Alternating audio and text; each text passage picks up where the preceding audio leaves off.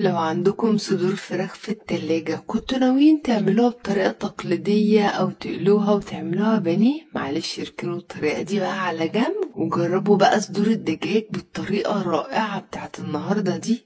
هتطلع معاكم تحفة ومعاها صوص رائع. وطعمها بجد لا يقاوم. معايا صدور دجاج زي ما هي كده هوت بقطعها بالشكل اللي أنتوا شايفينه ده هوت سامبوكسات كده هوت بالطول وبالعرض وأهم حاجة ما ننزلش بالسكينة للآخر يعني نقطع بس لحد نص الصدر. تبلتها بملح وفلفل أسود دعكتها كويس بيهم وبعد كده غلفتها بالدقيق وفي طاسة على النار هنحط معلقتين كبار من الزبدة معلقتين كبار من الزيت ونحط الصدور بتاعتنا نحمرها ونقلبها على الناحية التانية تاخد لون ونرجع نقلبها تاني. نحط قطعة زبدة كمان ومعايا خمس فصوص من الثوم بفرمها وبقطعهم بالسكينة كده زي ما أنتوا شايفين فرم ناعم كده بالسكينة. احطهم في النص وأقلبهم. واسيبهم بقى لحد لما يطلعوا ريحتهم. بعد كده أحط عليهم معلقة كبيرة من الصويا صوص أو صلصة الصويا ومعلقة كبيرة من الخل.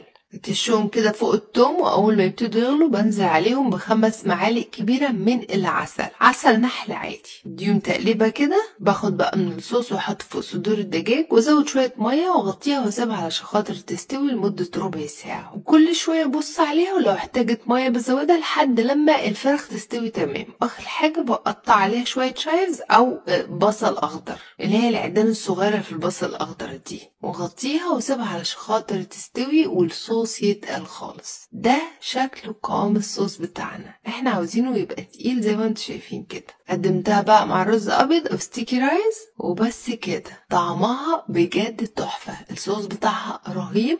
للناس اللي بيحبوا الحاجات اللي هي ال sweet and sour اللي بيحبوا الحاجات اللي فيها mix ما بين السكر وما بين الملح وما بين اللذوعة الخفيفة كده. جربوها وإيه رأيكم فيها.